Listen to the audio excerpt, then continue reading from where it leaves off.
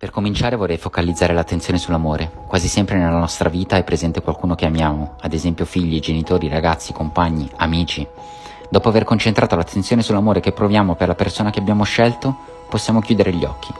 Nel processo che definirei come guardare il sentimento, possiamo scordarci di chi ha chiuso gli occhi e a chi era rivolto questo sentimento d'amore. Quello che rimane è l'interezza dell'amore stesso, senza bersagli e senza egoismo.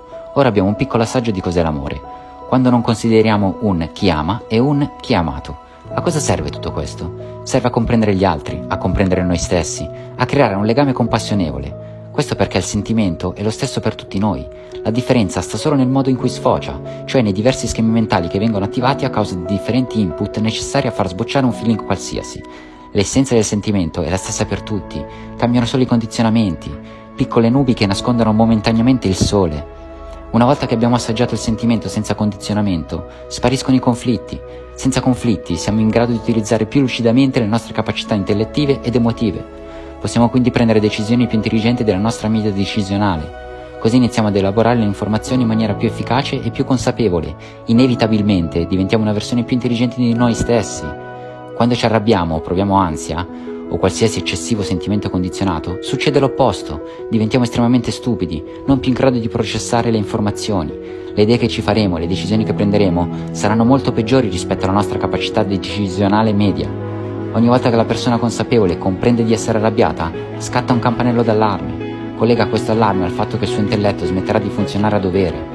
Ora ha una decisione da prendere, continuare a deteriorare sempre di più le proprie capacità o ritirare i propri giudizi e la propria ira, aspettando un momento in cui la sua intelligenza abbia la possibilità di risplendere nuovamente. Una volta comprese queste informazioni abbiamo una possibilità in più di scelta in ogni cosa che facciamo. Possiamo essere più saggi e più liberi. Possiamo iniziare veramente a porci delle domande. Cosa cambia il paese mio di origine, il nome che ho ed il colore della mia pelle, il mio stato sociale? Dove sono i miei condizionamenti? Su che schemi mentali baso la mia vita? In che modo mi rapporto agli altri? Qual è la radice della mia sofferenza? Quali sono le mie forze e le mie debolezze? Il fatto di non vivere in una dittatura facilita estremamente il processo di crescita e di apprendimento. Allo stesso modo aumenta la probabilità dello sbando più totale. È una sorta di dualità, è una bilancia.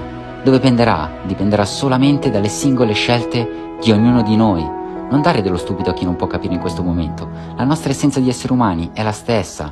Proviamo ad amare chi vorremmo offendere. Se non riusciamo ad amare lui personalmente, concentriamoci solo sull'essenza dell'amore, perché è la stessa dentro ognuno di noi.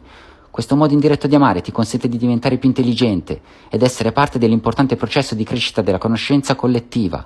Amici, amiamoci.